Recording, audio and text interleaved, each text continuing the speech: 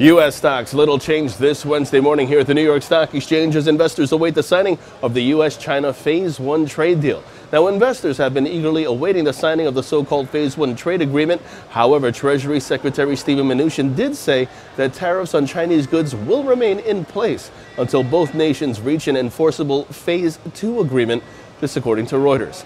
Meanwhile, in the forex market, the euro dollar where we begin. That's under pressure. The British pound US dollar pair under pressure and then focus. The pair stands below its 50 period moving average and remains under pressure. Short positions below 130.20 are favored with targets at 129.70 and 129.50 in extension. The dollar yen, that's under pressure, while the Bitcoin dollar, as long as 85.75 is the support, look for 86.73. 85.75 is the pivot point, while gold, that's supported by a rising trend line, and that's in focus. Gold supported by a rising trend line and by its rising moving averages. Long positions above 1546 are favored with targets at 1556 and 1562 in extension, while silver, that sees a bullish bias above 1773 a troy ounce.